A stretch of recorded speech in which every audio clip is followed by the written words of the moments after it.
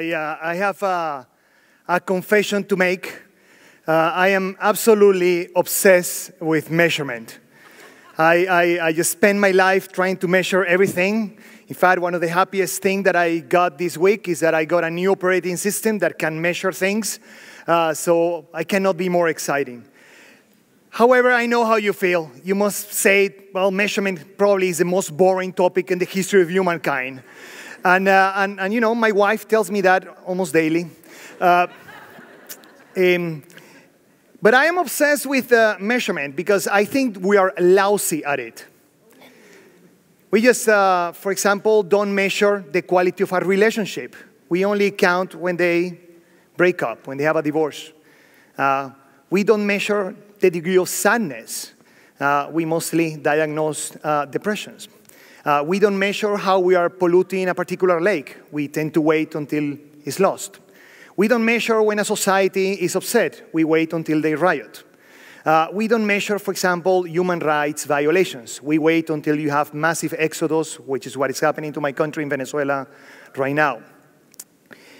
We measure very, very badly. And to me, the fact that we have made some good decisions in the past is mostly the outcome of luck, but not of wisdom.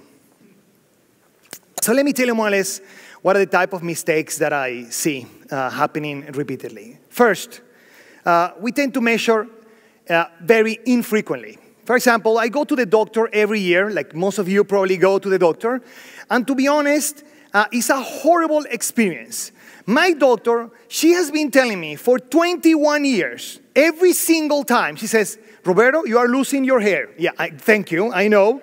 Uh, uh, you are one year older, you are fatter. I mean, I, I don't understand how telling someone that you are older, uglier, and fatter will motivate me to eat more my veggies. I mean, there's, no chance. We measure very infrequently and we measure outcomes, and that mostly produces regrets. It's very difficult to act when you only measure regret.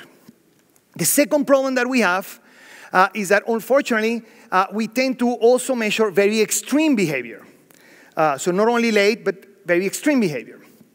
So, uh, for example, we don't uh, uh, compute the amount of consumption of drugs of a particular city. We, we don't. What we do is we count how many kids enter the emergency room with an overdose.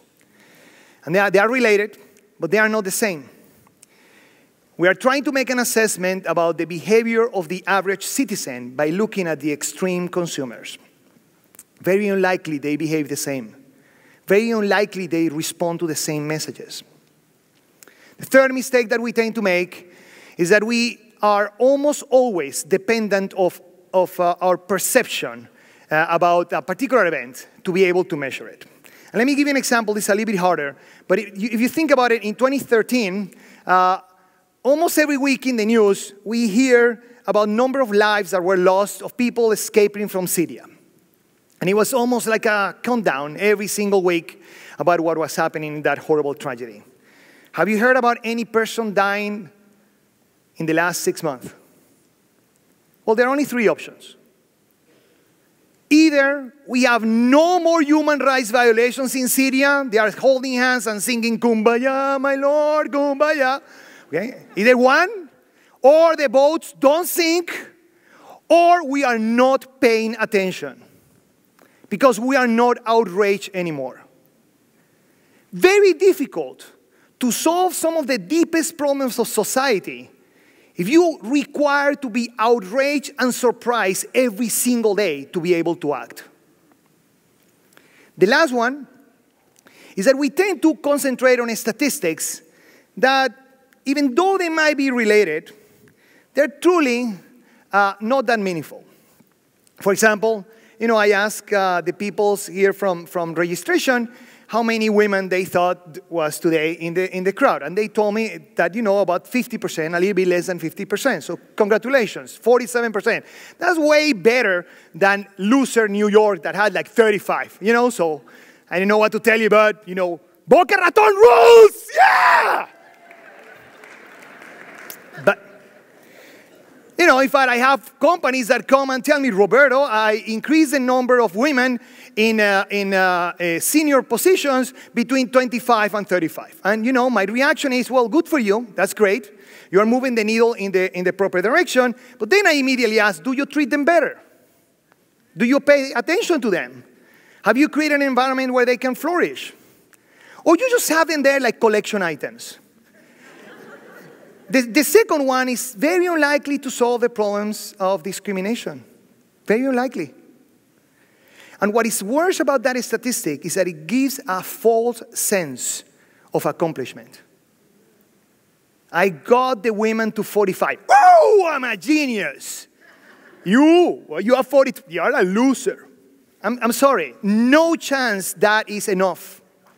That doesn't mean we don't have to increase the percentage of women in corporate America. We need to. But if we stop there, we will not solve the deepest problems, which is the hostile environment where they have to live every single day.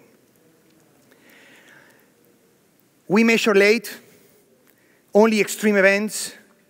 We use statistics that are incorrect, and we use mostly perception. And only when we're upset is when we pay attention. We need to change this dramatically. This is a first issue for the world. Let me talk about innovation. Innovation is, after all, an economic uh, uh, uh, decision. This is more or less what we have been discussing today. And innovation is one of the areas which is very difficult to improve the, the, the measurement. So um, what I'm going to do is to try to offer you an alternative about how to think about innovation. But let me start first thinking about innovation as this economic, incentive, economic decision that is subject to incentives and is subject to the way we measure success. And in fact, we have had many people today to talk about the world's success. You see, truly what they mean is commercial success. A lot of times, what we do, and one of the mistakes in innovation, is that we tend to associate private benefits with social benefits. They're not necessarily the same. There are many ideas that are very good for the private sector. And the way we do that is we have an idea, we embody that idea in a product, we actually commercialize the product, and we make profits. That requires a certain amount of decisions and, uh, and, and, and uh, capabilities to be successful. And you can make a mistake at any part of the process and you will fail. But there are some ideas that just cannot be embodied uh, in, in a product. We just can't.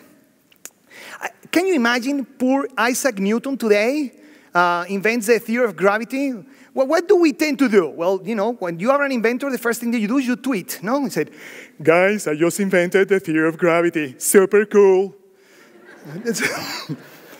and then, you know, somebody says, you are a loser. What are you going to do with that? Bouncing balls?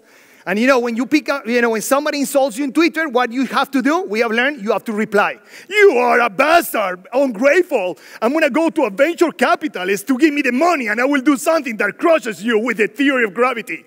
And the guy says, and then a VC says, I am drunk right now and I still think that your idea is stupid. The guy, I'm going to create a cryptocurrency called the Gravicoin and I'll take over the world. And then LeBron James says, the theory of gravity is a hoax because in the court I gravitate and levitate from one place to the other. Loser! Two million retweets, the theory of gravity is dead.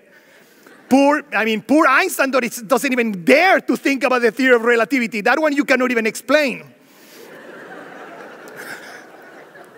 so, not everything is for sale.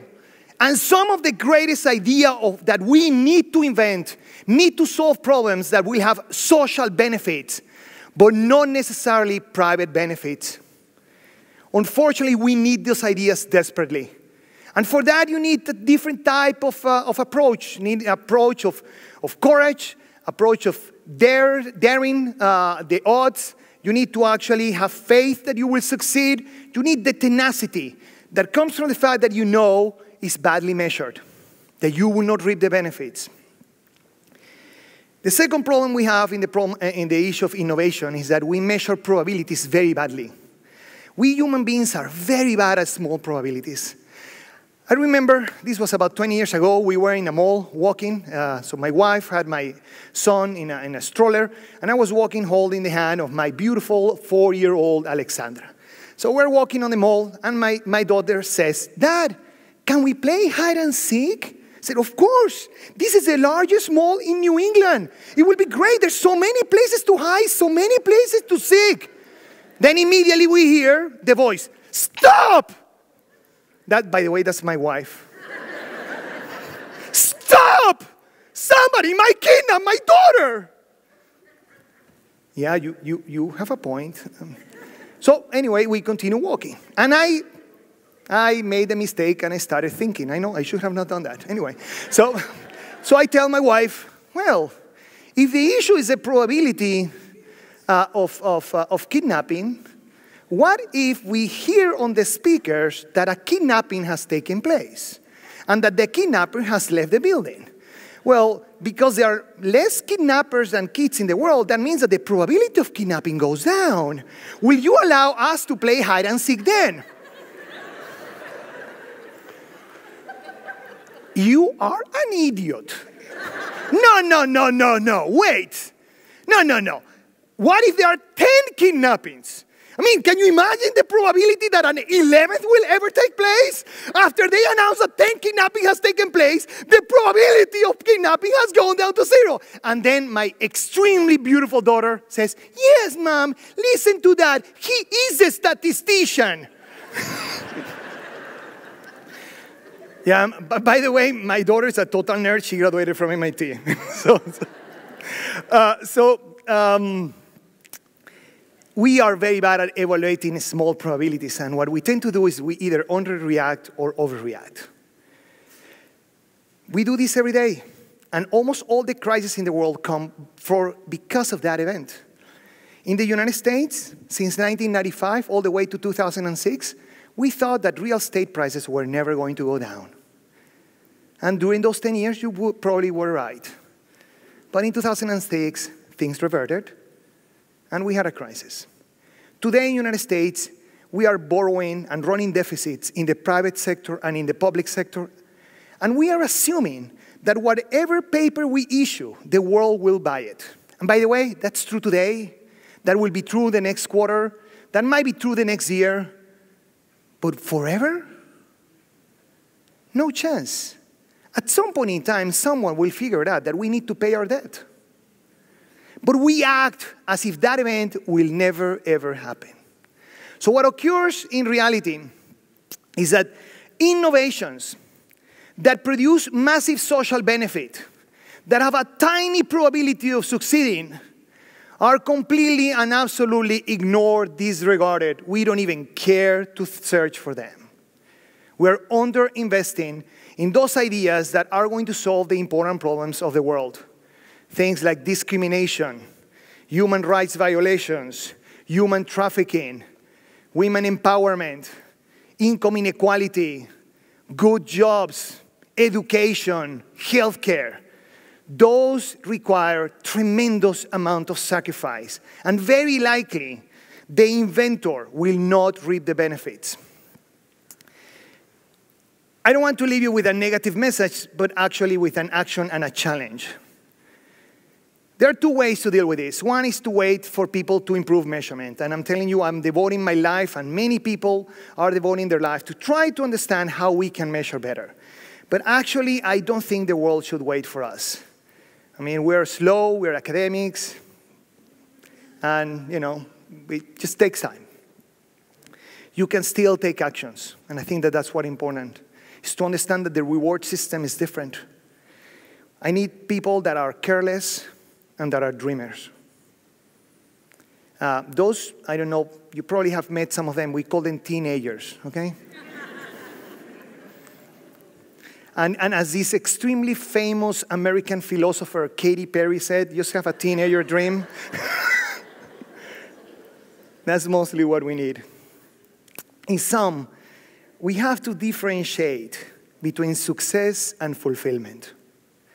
One of the greatest uh, privilege that I have at MIT is that I have all these alumni that come back over and over again uh, to MIT. And, you know, one of the greatest things is they tell me, oh, I remember the joke that you told in one class. And, you know, truly, I prefer to be remembered by my sense of humor than by the content of the classes. But, uh, so, so, but in some sense, they remember the jokes, and that's, that's a good thing. But the other part is that I find myself talking more and more and more with some of these incredibly successful individuals. And, and success in, the, in, in terms of the things that we tend to measure position, power, uh, the amount of money that they make, the amount of influence that they have. There's a very interesting pattern. Many people that will be successful among those dimensions, they don't feel necessarily fulfilled. It is actually very clear that in their lives there's something that is missing. However, every single one that says that they have found fulfillment, they define themselves as extraordinarily successful. Every single one of them.